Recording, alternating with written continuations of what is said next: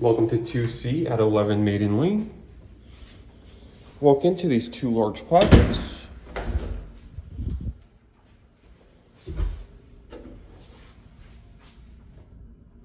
It is a three bedroom, one bathroom. Now this bathroom is massive. Great size bathroom. It has this additional linen closet. With storage above.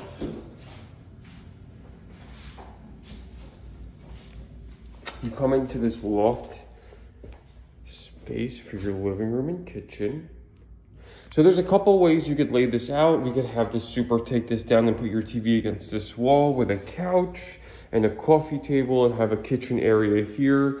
Um, you could easily fit a four-seater. Or you could have the um, TV against that and your living room here um, with your kitchen. The island is movable and can stay or leave.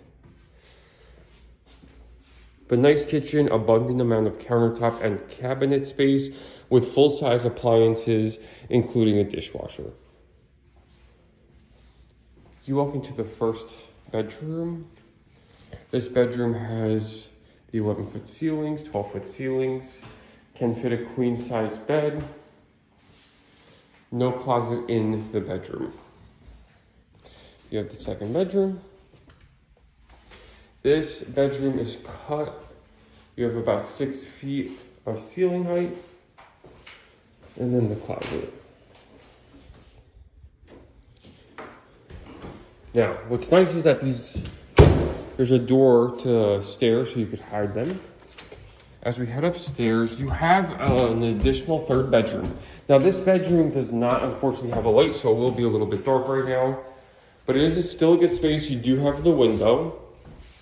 We're on the second floor here, so unfortunately the views aren't spectacular, but there is a window in this bedroom. And then there is this built-in closet that you could hang your stuff on. Then you have this loft space. Again, you could do a second living room. You could put the living room up here or do as you please. Nice additional storage space. My information is in the ad. If you have any questions or would like to schedule a showing, please reach out to Anthony Naber and we can go ahead and schedule that. Feel free to call, text, or email today. Thank you.